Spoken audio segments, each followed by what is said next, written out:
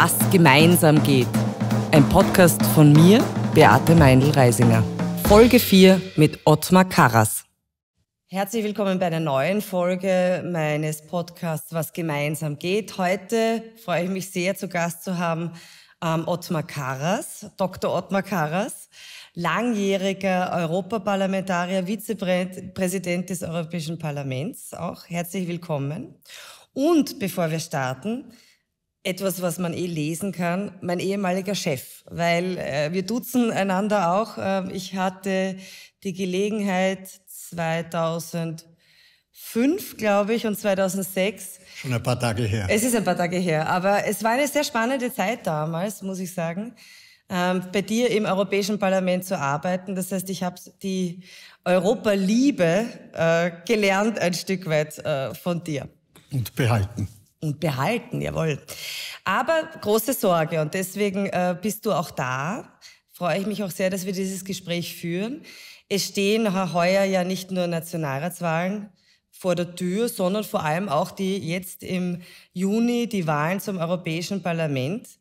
Es wird allgemein äh, sehr viel darüber geschrieben, dass ein, ich sagen, Rechtsruck, äh, ein nationalistischer Ruck hier passieren könnte.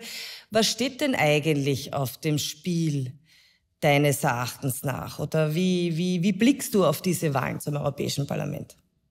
Zum ersten danke für die Einladung. Bin gerne gekommen. Du hast gesagt, dass es zu deiner Zeit spannend war. Ich glaube, an der Spannung ist nichts geringer geworden. Die Herausforderungen sind mehr geworden. Ich glaube, darum geht es auch in einem hohen Ausmaß. Wir leben im Moment in einer Zeit, wo wir die größten Transformationsprozesse seit 1945 erleben. Und die sind nicht reduziert auf Europa oder einen Mitgliedstaat, sondern sie treffen uns alle und sind global. Mhm. Der Klimawandel, die Digitalisierung, die künstliche Intelligenz, die Migrationsfrage, die Wettbewerbsfähigkeit, die Pandemie sind alles Herausforderungen, die gleichzeitig stattfinden. Und da muss man sehr klar sagen, die überfordert viele, viele Menschen. Aber auch die politischen Institutionen stoßen an ihre Grenzen. Sie müssen sich neu aufstellen. Und hier gibt es vor allem eine große Trennlinie zwischen den Nationalisten und den Extremen und den Demokraten. Nämlich die einen, die Lösungen anstreben, die das Miteinander stärken wollen, die grenzüberschreitend und parteiübergreifend agieren und Europa stärken wollen in der neuen geopolitischen Ordnung und die anderen, die Schuld zuweisen, die den Menschen nicht die Wahrheit sagen, was los ist und was zu geschehen hat, die mit dem Finger aufeinander zeigen und die nationalisieren und parteipolitisieren. Und darum geht es. Es geht darum, in welche Richtung geht Österreich und Europa. Das gehört zusammen. Das ist gegeneinander nicht ausspielbar. Wir brauchen hier eine gemeinsame Vorgangsweise und wir brauchen Mehrheiten mit einem politischen Willen zu gestalten statt zu blockieren. Mhm. Du hast da jetzt sehr viele Themen angesprochen, die ja tatsächlich, und ich glaube auch, das sehen die Menschen äh, ganz klar, Österreich nicht mehr alleine lösen kann. Du hast gesagt, künstliche Intelligenz, Digitalisierung, äh, die Frage auch der sozialen Medien, Migration, Klimawandel, auch natürlich die Bedrohung Russlands. Und trotzdem gelingt es, äh, so scheint es zumindest den Nationalistinnen und Populisten, das Bild zu zeichnen, dass wir an Handlungsfähigkeit verlieren als Österreich. Ich persönlich kann das nicht nachvollziehen, weil äh, keiner würde auf die Idee kommen zu sagen, Österreich kann alleine den Kampf gegen den Klimawandel führen oder Österreich kann alleine äh, äh, sich äh, eine Lösung präsentieren, die sagt, wir, wir können jetzt irreguläre Migration ähm, ordnen und in den Griff bekommen oder sich auch äh, gegen Russland zur Wehr setzen. Wieso glaubst du, ist da trotzdem, fällt das auf so viel fruchtbaren Boden? Dieses äh, äh, war ja auch im Brexit immer wieder der Slogan, we take back control. Also es wird ein bisschen der Eindruck erweckt, Wir erlangen erst wieder Kontrolle über all diese Dinge, die jetzt äh, sehr volatil geworden sind, wenn wir das bei uns auf unserer nationalstaatlichen Scholle lösen. Jetzt hast du viele Fragen aufgeworfen. Ja. Ein Punkt, weil du den Brexit gesagt hast.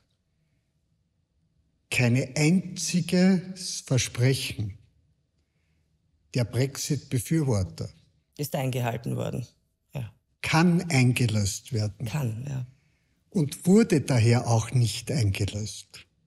Denke nur daran, dass die zentrale Botschaft war, mit dem Tag des Neins beim Referendum zahlt das Vereinigte Königreich keinen Euro mehr in die Europäische Union und das gesamte Geld geht in das Sozial- und Gesundheitssystem, das im Vereinigten Königreich brach liegt. Mhm. Und am Abend wurde der Herr Farage, kennen wir, der neben mir gesessen ist im Parlament, gefragt, wann das jetzt der Fall sein wird. Und der hat gesagt, nie, das geht ja gar nicht. Da haben wir gesagt, Sie haben das aber versprochen. Und er hat das Antwort gegeben, probieren wird man es heute halt nur dürfen. Mhm. Das heißt, es wurden die Menschen in die Irre geführt. Sie wurden belogen. Es wurde ihnen eine einfache Botschaft vermittelt im Wissen, dass sie nicht realisierbar ist, um die Menschen zu verführen. Und das ist schäbig. Angst zu machen und Hoffnung zu geben ohne Verantwortung zu übernehmen und sich die Konsequenzen zu überlegen. Und da sind wir bei einem zweiten Punkt. Beim Brexit war nicht nur die Lüge ein Thema. Es war auch der Einfluss von Russland ein Thema. Und es wurde ja auch dokumentiert in einem Untersuchungsausschuss, äh, wenn ich richtig informiert bin, glaube ich, äh, im Parlament oder in, in, weiß ich nicht in welchem Haus, wo es ein bisschen vorsichtig formuliert wurde, aber eigentlich klar festgehalten wurde, dass eben Russland hier auch die Finger im Spiel gehabt hat.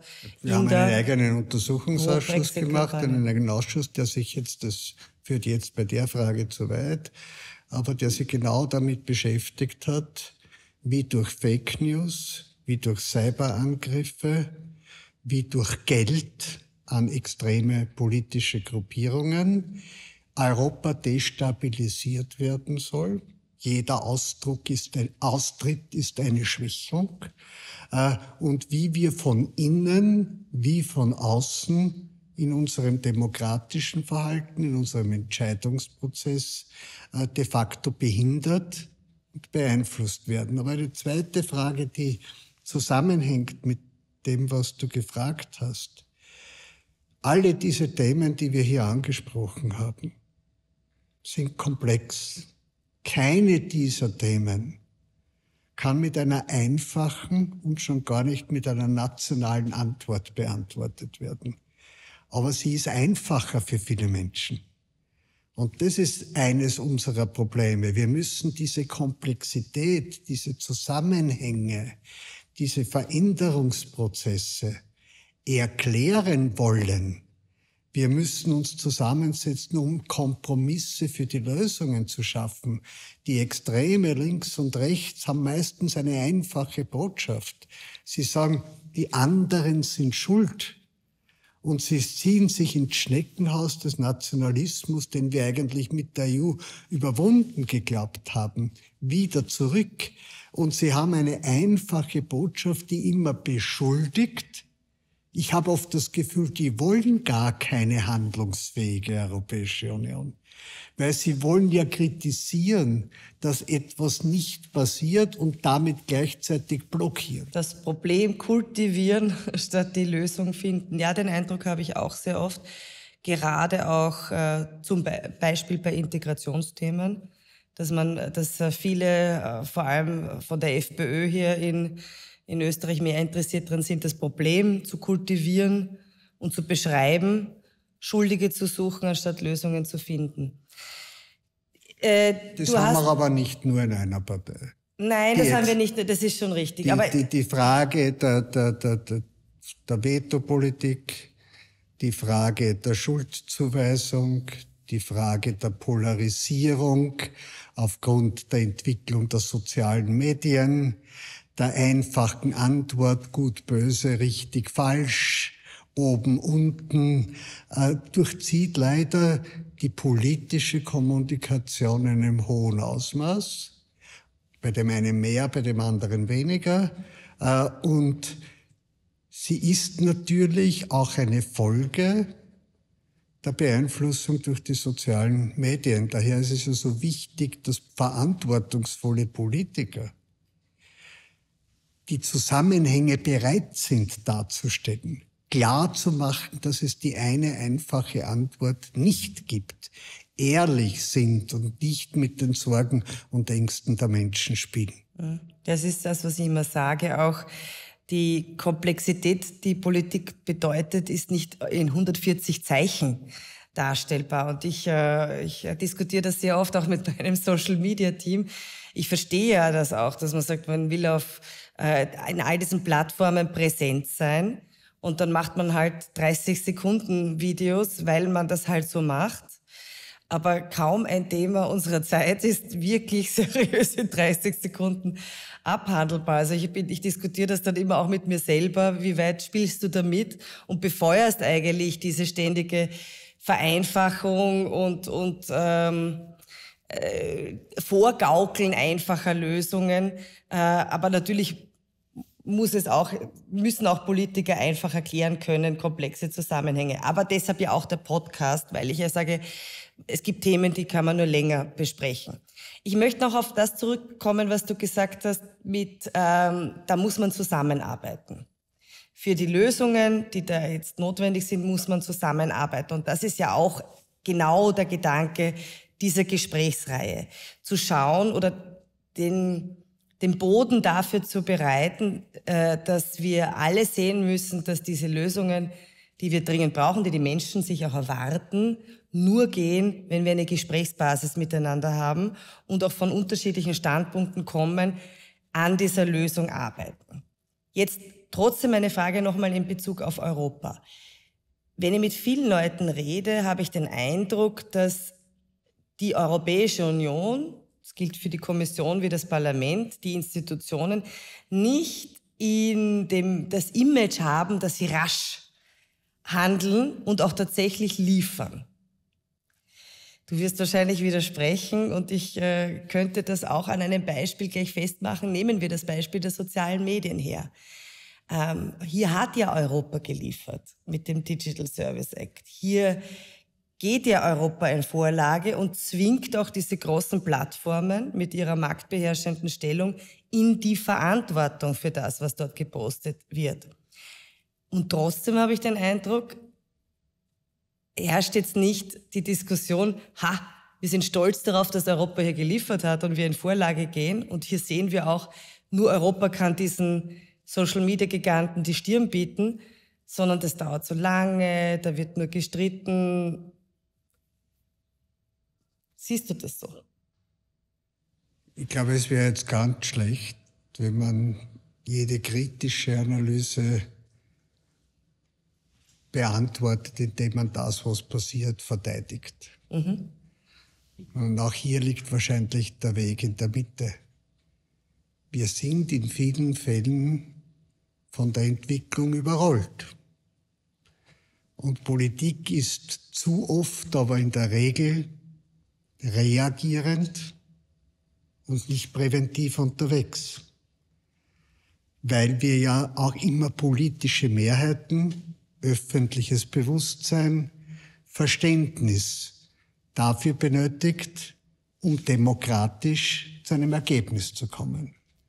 Aber gerade in der von dir angesprochenen Frage waren wir sehr schnell. Ja, sehr schnell. Und wir haben erst vor wenigen Tagen im Europäischen Parlament als der erste Kontinent in der Welt den Artificial Intelligence Act, den AI Act beschlossen. Die ganze Welt kommt zu uns und sagt, das ist eine Grundlage einer ethischen Auseinandersetzung, Chancen nützen, Risiken minimieren mit der, mit der künstlichen Intelligenz. Hier sind wir Vorreiter. nicht reagierend, aber reagierend auf eine Entwicklung. Und das Dritte, das muss ich schon sagen, wir haben diese Periode im Parlament begonnen de facto mit dem Pariser Klimaübereinkommen. Und wir haben uns als erster Kontinent sofort darauf verständigt, dass wir bis 2050 klimaneutral werden wollen. Und wir haben daraufhin nach dieser Zielsetzung gemeinsam die Gesetzgebung, das Fit for 55 Programm mit 18 unterschiedlichen Regelungen gemacht. Und wir haben uns in die Details dann natürlich vorgewagt, weil man ja nicht nur Ziele setzen kann, sondern auch Ziele operativ umsetzen muss, damit sie erreichbar sind. Und kaum haben wir begonnen, das größte Investitionsprogramm der Geschichte der Europäischen Union, Next Generation EU, de facto umzusetzen und mit dem Rechtsstaatsmechanismus zu verbinden, weil keine liberale Demokratie ohne Rechtsstaatlichkeit, ohne Freiheit der Medien, kam die Pandemie. Mhm. Und bei der Pandemie war die erste Reaktion der Mitgliedstaaten, das geht euch nichts an, weil Gesundheitspolitik ist nationale Angelegenheit. Und dann haben sie die Grenzen hochgezogen. Und auf einmal wurden wir danach der Kontinent, Kontinent mit dem Impfstoff, mit der Forschung, äh. mit der Verteilung. Dann kamen zwei Kriege. Das heißt, wir haben ja eine, eine Fülle von Themen gleichzeitig. Und für diese, für diese Dimension der Krisen, auch Migration ist ja noch nicht bewältigt, bleibt ein Thema. Mit dieser, mit dieser Fülle sind wir verhältnismäßig gut umgegangen. Aber jetzt geht es in der nächsten Periode darum, rascher, mhm.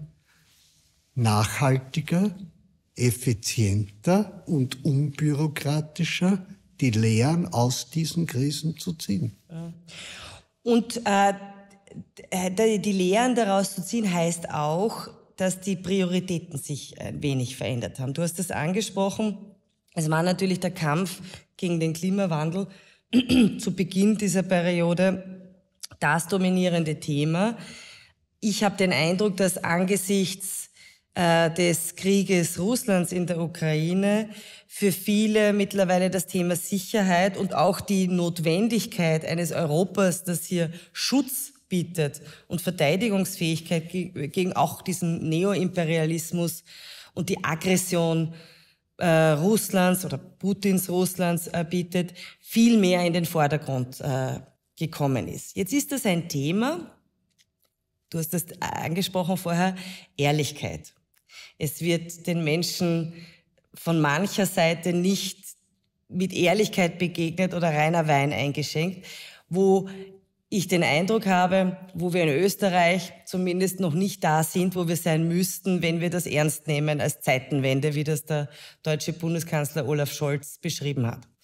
Du hast gerade auch selber angesprochen, die Desinformationskampagnen aus Russland, die nachgewiesenen ähm, auch Versuche, äh, einerseits mitzumischen in der Brexit-Kampagne, die Versuche äh, Russlands bei der französischen Präsidentschaftswahl, mitzumischen. Amerikanische Präsidentschaftswahl wissen wir auch, ist auch dokumentiert.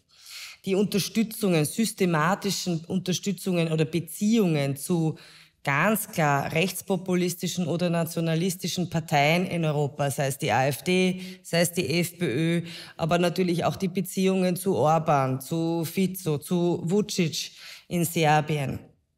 Eigentlich liegt das ja klar am Tisch. Für jeden, der das beobachtet, sieht ja, was am Spiel steht und wie sehr wir hier auch in unserer demokratischen Verfasstheit angegriffen werden. Und trotzdem habe ich den Eindruck, in Österreich herrscht hier eine unglaubliche äh, Debattenarmut über die Dimension der Bedrohung. Ich glaube, es gibt überhaupt eine Argumentationsfaulheit mhm. und eine generelle Armut an politischer Debatte. Wir müssen die Politik politisieren. Wir müssen die Themen zu Themen machen. Wir müssen vor allem die Lösungen im Dialog mit den Menschen begründen und sie begleiten in diesem Transformationsprozess. Und da hast du einen Punkt am Beginn angeschnitten, den ich ein bisschen äh, zusammenführen will. Ja, es ist richtig, dass sich manche Prioritäten verschoben haben. Aber haben sie sich wirklich in, Real, in Realita verschoben?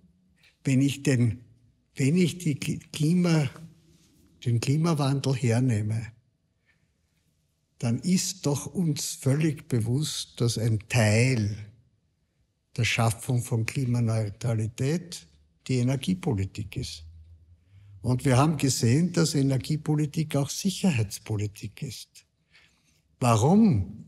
Weil, weil die Energiepolitik und die Abhängigkeit von Russland zur politischen Erpressbarkeit führt. Und weil wir ja deutlich gesehen haben, dass wir die Energieziele nur leicht, nur dann erreichen, wenn wir auch den Energieverbrauch reduzieren, wenn wir gleichzeitig nicht nur Verbrauch reduzieren, sondern welche Energie wir wie nützen, welche Technologien wir erforschen, ein neues Thema wird. Das heißt, es hängt zusammen. Die Abhängigkeit zu reduzieren schafft Unabhängigkeit und damit auch die Erhöhung der Handlungsfähigkeit und der Gestaltungsmöglichkeit.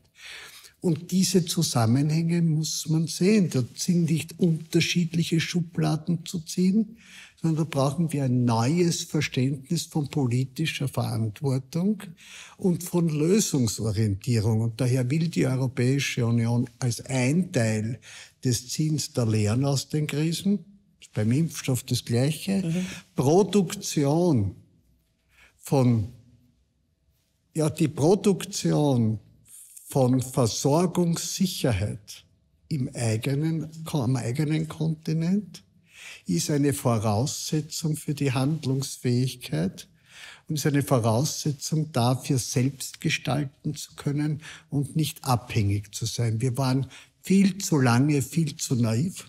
Mhm.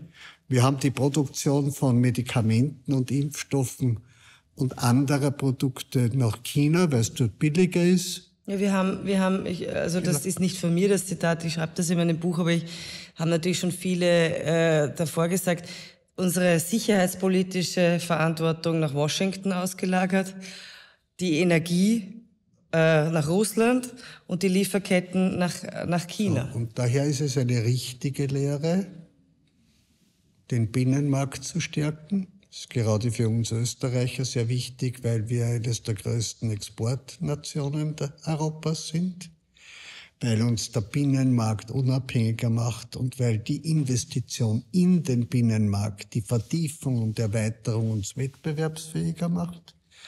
Daher ist es wichtig, dass wir den Klimawandel und den Green Deal nicht nur als Umweltprogramm verstehen, sondern als Bildungsprogramm, als Sozialprogramm, als Wirtschaftsprogramm, als Investitionsprogramm. Und daher ist es wichtig, dass wir die Lehren aus den Kriegen darauf, da hinaus auslegen und ziehen, indem wir uns zu einer gemeinsamen Außensicherheits- und Verteidigungspolitik durchringen, weil wir die neuen Bedrohungsfelder nie national alleine beantworten können, kein Staat, hat auch das österreichische Landesverteidigungsministerium im Sicherheitsbericht und im Bedrohungsbericht deutlich artikuliert, sondern nur im europäischen Miteinander. Und weil nur eine glaubwürdige gemeinsame Außensicherheits- und Verteidigungspolitik und eine resiliente Wirtschaftspolitik und Standortpolitik uns eine Rolle gibt in der neuen geopolitischen Ordnung der Welt. Mhm. Vom Spielball zum Akteur. Das glaube ich so ein Stück weit. Vom Bär zum Player. ja, vom Bär zum Player.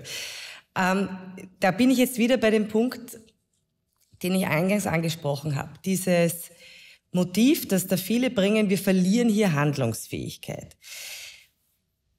Was du angesprochen hast, die äh, Notwendigkeit zum Player zu werden in außenpolitischen, in sicherheitspolitischen und verteidigungspolitischen Fragen bedeutet ja auch, hier handlungsfähiger, rascher handlungsfähig zu sein. Und da ist einer der Vorschläge, die am Tisch liegen, die ich auch unterstütze und ich glaube du auch, vom Einstimmigkeitsprinzip in diesem Bereich, wo wir ja immer auch wieder jetzt äh, Vetos äh, erleben etc., hinzukommen zu einer mehrstimmigen Entscheidung, die uns eben handlungsfähiger macht. Jetzt ist das genau dieser, dieses, dieses, diese Kampfzone auch mit den Nationalisten, die dann sagen, na ja, aber da verlieren wir Einfluss.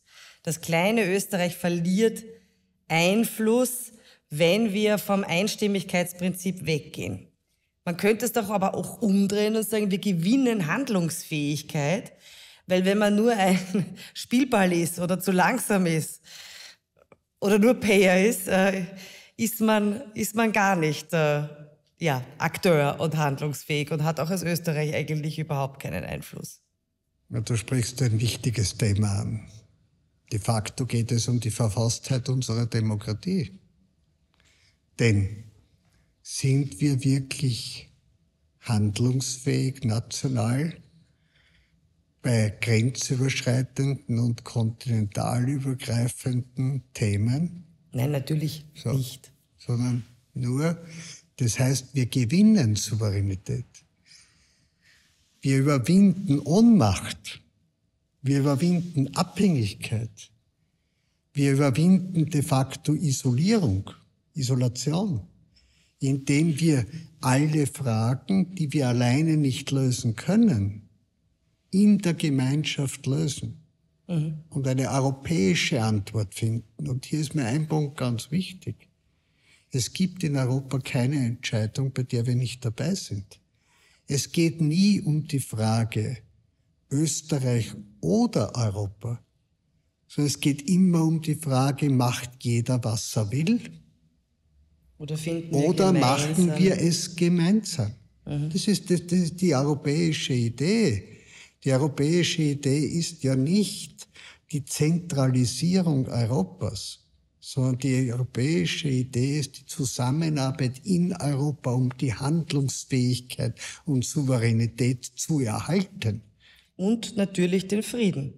Weil Damit natürlich ist das auf dem, auf dem blutigen Boden des Nationalismus auch entstanden.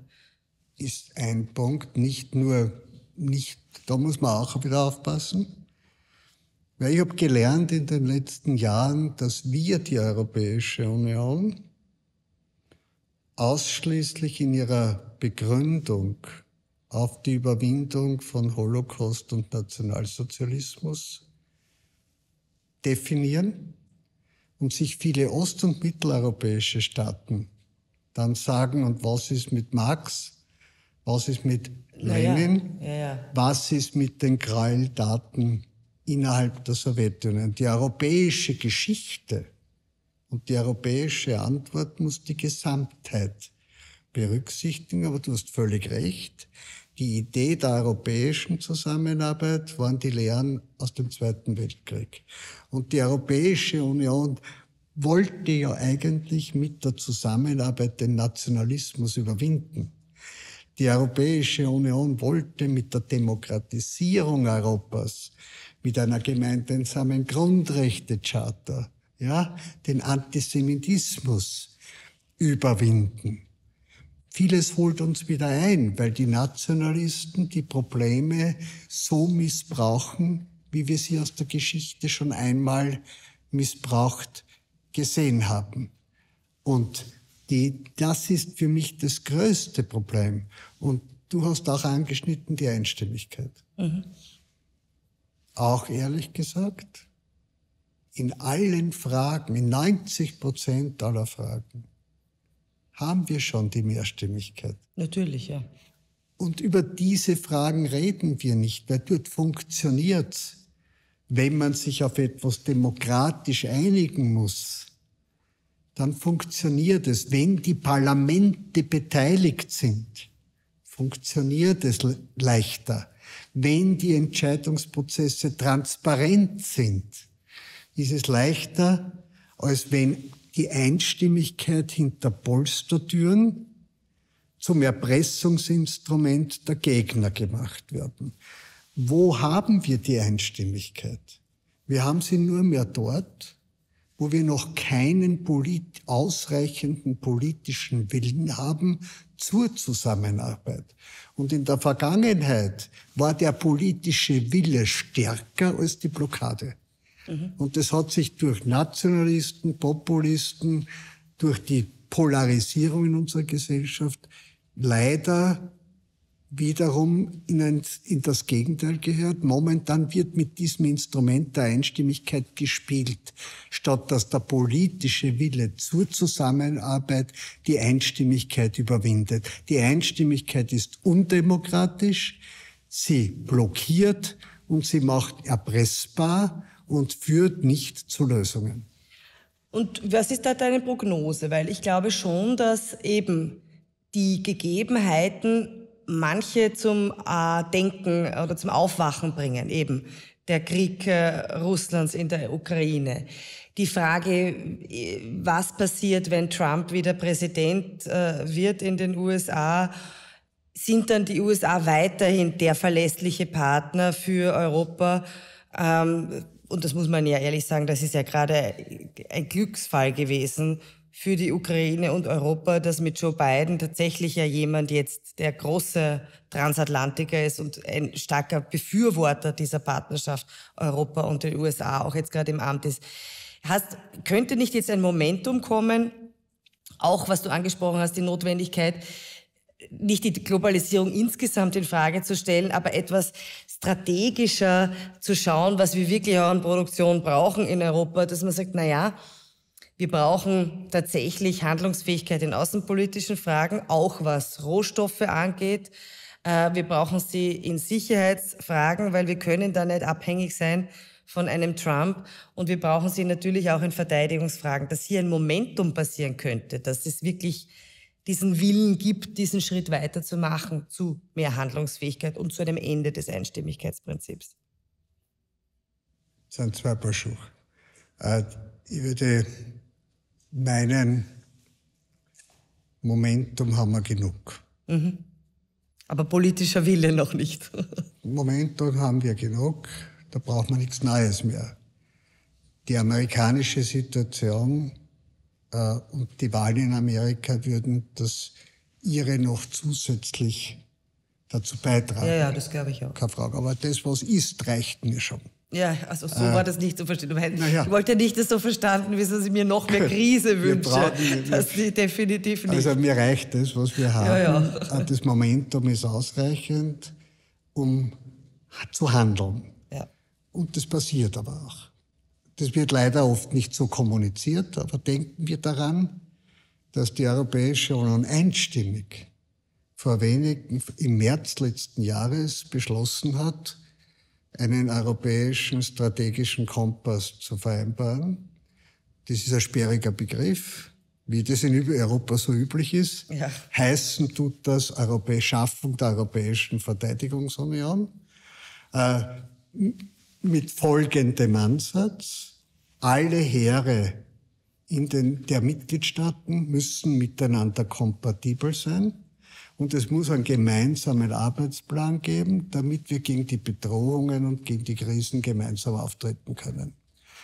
Daher trete ich dafür ein, dass kein Euro in die nationale Landesverteidigung gegeben wird, in keinem Land, ohne den Beweis, dass es ein Beitrag zur Stärkung des strategischen Kompass und unserer gemeinsamen Ziele ist, weil wir heute schon das Problem haben, dass die Heere untereinander nicht kompatibel sind. Daher sind wir zu wenig effizient und wir kosten zu viel. Die Zusammenarbeit erspart im Regelfall Geld und erhöht mhm. die Effizienz. Daher haben wir das, gibt es einen Vier-Stufen-Plan, der übrigens von einem Österreicher, General Brieger, umgesetzt werden muss. Und der zweite Teil ist, wir kaufen ein, nicht Österreich, sondern generell in der EU, in vielen Fällen für die Verteidigung außerhalb Europas. Das schafft wieder Abhängigkeit. Und daher hat die Kommission jetzt mit dem Parlament und dem Rat beschlossen, dass wir die Verteidigungsindustrie, das Beschaffungswesen in Europa durchführen äh, müssen. Das stärkt erstens die Wirtschaft, das stärkt die Forschung und es macht uns schneller handlungsfähig. Das sind zwei ganz entscheidende äh, Punkte. Daher trete ich glaube auch wie du, sehr massiv dafür ein, dass wir eine offene öffentliche Debatte über Sicherheits- und Verteidigungspolitik haben, und zwar in der Richtung, was schützt uns am besten und was müssen wir tun, um gemeinsam diesen Schutz zu gewährleisten. Aber es findet nicht statt. Wir haben noch keine neue Sicherheitsdoktrin äh, am Tisch und eben genau hier ist meine Kritik an der Unehrlichkeit. Denn natürlich werden jetzt richtige Schritte gesetzt, auch in Österreich. Zusammenarbeit Österreichs ähm, in Sky Shield, also der gemeinsame äh, so ein Schutz des Luftraums. Richtige Entscheidung mit dem Blick auf natürlich genau diesen europäischen Gedanken und der Kompatibilität und Zusammenarbeit. Aber ausgeschildert wird's teilweise nicht so. Ähm, oder auch Entscheidungen, die jetzt getroffen werden bezüglich Nachrüstung, äh, äh, werden ja mit dem Gedanken getroffen der Kompatibilität dann zu europäischen Herren. Aber dann soll man es auch sagen. Weil ich finde ja genau diese Unehrlichkeit, zu sagen, Leute, wir haben jetzt einen europäischen Kompass, ist tatsächlich, also wir nähern uns an. Es ist ja noch nicht, aber es ist sozusagen eine eine kleine Annäherung in Richtung eines europäischen Heeres. Das heißt, wir müssen da zusammenarbeiten, wir müssen gemeinsam beschaffen und eben, wie du richtig gesagt hast, wir geben keinen Euro mehr aus in Österreich, ohne dass wir wissen, dass wir damit auch eine Zusammenarbeit stärken. Wir sind hier ein verlässlicher Partner. Eigentlich wäre es ja so einfach, aber es findet nicht statt. Das ist schade. Das habe ich auch hier im Haus in der Debatte in der Europastunde äh, gesagt. Und wir könnten ja bei uns, brauchen ja gar nicht weit wegschauen. Wir könnten ja nur bei uns nachschauen.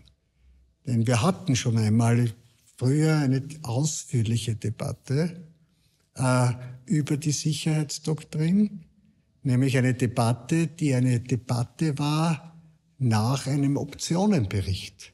Es wurde zuerst ein Optionenbericht mhm. erstellt. Was ist alles möglich für die richtige Antwort? Es wurden daraus die politischen Rückschlüsse gezogen. Ich würde mich sehr freuen, wenn wir diese öffentliche Debatte über diesen Optionenbericht hätten, welche Optionen stehen zur Verfügung oder sollten zur Verfügung stehen, um den maximalen Schutz der Bevölkerung und des Landes zu gewährleisten, mit welchen Instrumenten äh, und dann die politischen Konsequenzen daraus gezogen werden. Ich bedauere, dass es diesen Sanktionen weder den Optionenbericht gibt, noch das, noch die Strategie noch vor der Wahl abgeschlossen wird. Ja, das ist offensichtlich, da fehlt der Mut. Da ist äh, manchmal vielleicht auch dann die Sorge zu groß, dass man, äh, weiß ich, in dem Fall der FPÖ in die Hände spielt, die ja einen sehr verqueren Neutralitätsbegriff hat, der in Wirklichkeit ja ein Muss man einmal sehr offen sagen. ganz Wir offen haben sagen, nach, dem EU, nach der EU-Mitgliedsbeitritt 1998 unsere Verfassung geändert. Wir haben einen neuen Artikel in unsere Verfassung eingeführt, den Artikel 23j, wo sehr klar festgelegt wird in unserer österreichischen Verfassung, dass der Aufbau einer europäischen Außen- und Sicherheitspolitik nicht im Widerspruch zu dem österreichischen Neutralitätsgesetz ist. Man muss auch sagen, dass wir weder eine Neutralitätsdebatte noch eine NATO-Debatte brauchen, sondern wir brauchen eine europäische Sicherheits- und Verteidigungsdebatte und da spielt Amerika mit hinein.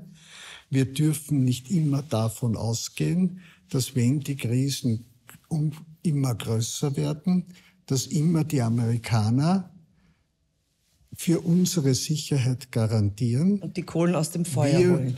Wir, wir ja. müssen uns als europäischer Arm in der NATO selbstständig und unabhängig für unsere eigene Sicherheit verantwortlich fühlen, weil sonst werden wir wie von der Energie abhängig von Russland, werden wir in der Sicherheitspolitik abhängig von den Amerikanern. Dass das nicht ein Entweder-Oder ist, steht auch außer Streit, wenn 23 Mitgliedstaaten der Europäischen Union NATO-Mitglieder sind.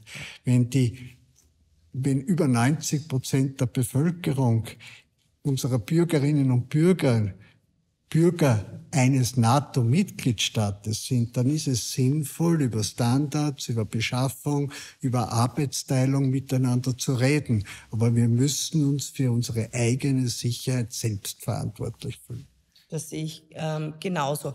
Wie kommen wir zu dieser oder wie, was ist dein Beitrag? Ich weiß ja, dass du jetzt da sehr viel auch machst im Zuge der Europawahlen das, was du auch beschildert hast, diese Debattenlosigkeit, dass man wirklich einfach ähm, auch selber einen Beitrag leisten muss für die Debatte und ringen muss um die Lösungen, anstatt auf irgendwelchen Nebenschauplätzen unterwegs zu sein. Weil vieles passiert ja derzeit in einer Aufgeregtheit, in einem Populismus, in einer Polarisierung, aber auf Nebenschauplätzen. Es sind ja Nebenthemen, die auf einmal relevant erscheinen als eigentlich die eigentlichen äh, Fragen an sich.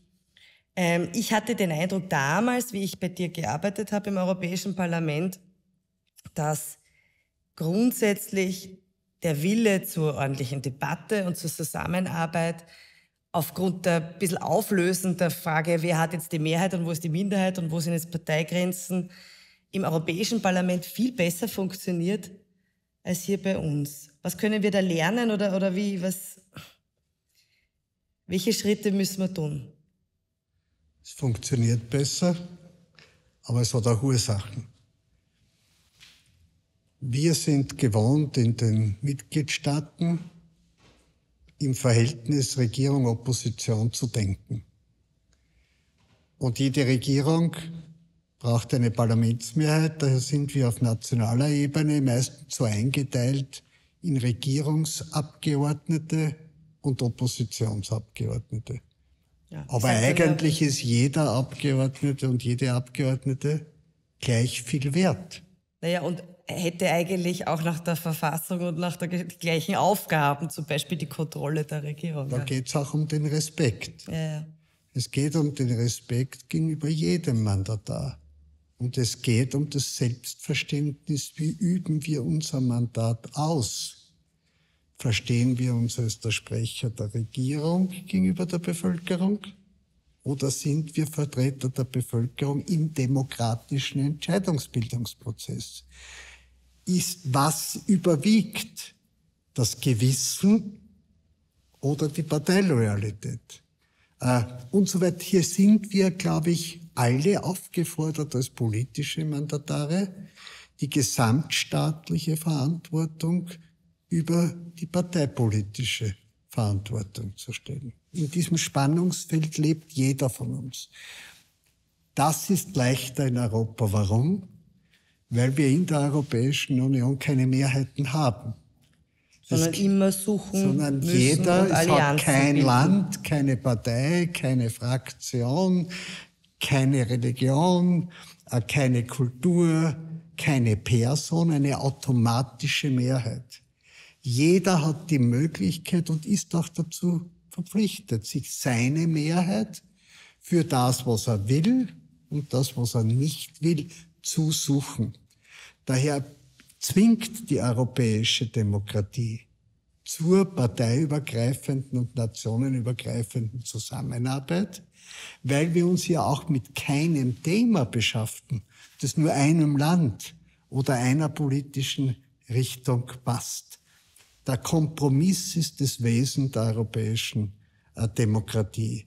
Und daher würde ich mir auch wünschen, dass wir hier von der, vom Wesen des Europäischen Parlaments, vom Selbstverständnis des Parlaments und von der Lösungsorientierung uns nicht reduzieren auf Mehrheit oder Minderheit, sondern auf den Inhalt und auf die unterschiedlichen Meinungen und auf das Aufeinanderzugehen. Und das ist, das müsste eigentlich jedem politischen Projekt und jeder Gesetzgebung äh, innewohnen. Ähm, äh, letzte Frage da in dem Zusammenhang, die da in diesem Spannungsverhältnis die Pflicht zur Zusammenarbeit und auch zu einem gerüttelten Maß an staatspolitischem Verantwortungsgefühl, dass man über die Person, über die Partei, über die ähm, eigenen Interessen stellt, trifft ja gleichzeitig auf einen immer stärker werdenden Populismus. der natürlich auch erfolgreich ist. Das darf man ja, muss man ja sagen. Also er hat ja viel Zuspruch, ähm, auch äh, in Österreich. Wie erlebst du, und, und dieser Populismus führt aber dazu, dass es ein Geist wird, der immer verneint. Also ich sage das immer, die FPÖ hier im Haus ist der Geist, der stets verneint. Und der zeichnet gerne das Bild, wir sind hier als FPÖ und das ist die Einheitspartei aus den anderen Parteien und die sind immer gegen uns. Ist das, wie, wie erlebst du das im Europäischen Parlament dort mit äh, ähm, doch einigen natürlich ähm, rechtspopulistischen Parteien, nationalistischen Parteien, Vertreterinnen und Vertretern? Sind die konstruktiv an den Tisch zu bringen? Auch überwinden die dann sozusagen diese, den Impuls des Populismus und arbeiten zusammen? Oder ist das dort ähnlich, dass man sagt, das sind eigentlich die Geister, die leider kriegen wir die nicht dazu, an Lösungen zu arbeiten? Ich glaube, dass wir, dass alle anderen Parteien einmal dafür Sorge tragen müssen, dass sie dem tagespolitischen Populismus nicht selber anheimfallen. Guter Punkt. Und auf der anderen Seite, dass wir zu einer anderen Form der politisch-inhaltlichen Auseinandersetzung kommen. Man kann sich inhaltlich auseinandersetzen, ohne sich parteipolitisch oder persönlich verletzen zu müssen.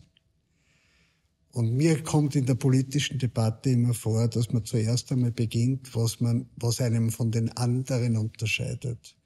Und es sollte uns, oder wer schuld ist.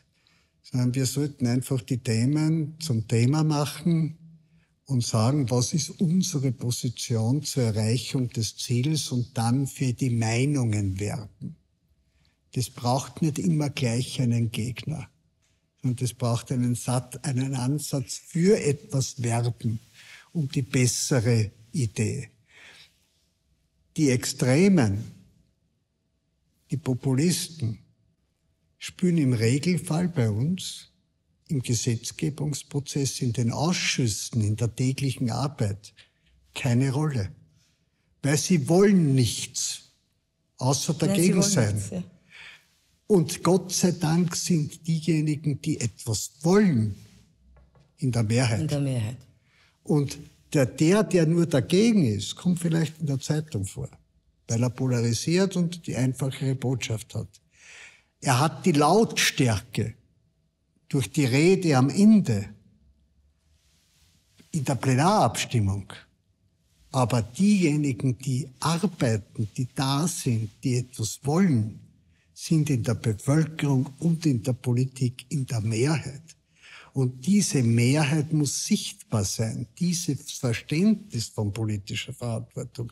Und wenn ich das auch noch sagen darf, äh, zu dir, ich glaube, es ist ganz wichtig, dass wir an einem staatspolitischen Grundkonsens arbeiten. In Österreich hatten wir einen breiten Grundkonsens, dass die Mitgliedschaft in der Europäischen Union uns stärkt und in unserem Nutzen sind und einen Mehrwert hat. Und dass wir bei der Gestaltung der Zukunft Europas vieles einbringen können. Und dieser Grundkonsens hat zur Mehrheit in der Bevölkerung geführt. Und wir haben dafür geworben seit der Mitgliedschaft, sagen wir, es ist, wir sind eh drin, jetzt können wir den ganzen Tag motschkern. Ja? Und wenn wir einen Grundkonsens haben, wenn es einen, sowas wie eine staatspolitische gemeinsames Ziel gibt, dann schaut die Debatte auch anders aus. Und dann ist es auch leichter, die Bürger zu vereinen. Ich habe ein schönes Beispiel zu meiner Situation jetzt. Ich habe erklärt, dass ich bei der Europaparlamentswahl nicht mehr kandidiere. Mit allen Gründen, die ich gesagt habe. Und die Leute fragen mich, ja, warum tust denn du im Wahlkampf was? Obwohl du ja nicht kandidierst. Ja, sozusagen, man tut. Am Ende ist dir das noch ein Anliegen. Man, so, das ist der Punkt. Wir müssen für, ich möchte auch im Wahlkampf, ich werde alle Spitzenkandidaten einladen zu Gesprächen. mit dem überparteilichen Bürgerinnenforum Europa. Ich werde durch alle Bundesländer fahren, weil ich die Institution Europäisches Parlament, den Inhalt und die Bedeutung dieser Wahl, die, die Konsequenzen des Ausgangs für die Zukunft Österreichs und Europas mit den Menschen besprechen will. Diese Wahl hat eine Bedeutung, genauso wie die Nationalratswahl. Und ich werde nicht zulassen, dass die Europaparlamentswahl zu einer stellvertretenden Nationalratswahl wird, sondern die Nationalratswahl braucht einen Europabezug und die Europaparlamentswahl braucht einen innenpolitischen Bezug. Wir sitzen im gleichen Boot und gestalten die europäische Demokratie. Das sind wunderbare Schlussworte, die ich mir auch zu Herzen nehme und verspreche auch, wie ich, ich werde aktiv äh, im Europawahlkampf durch Österreich fahren und werben. Und zwar nicht schon im Hinblick auf die Nationalratswahl, sondern weil mir Europa wichtig ist. Wichtig ist, dass alle, die das Wahlrecht haben in Österreich, davon auch Gebrauch machen und zur Wahl gehen. Und besonders nehme ich mir vor, in den nächsten Wochen dorthin zu gehen, wo es weh tut.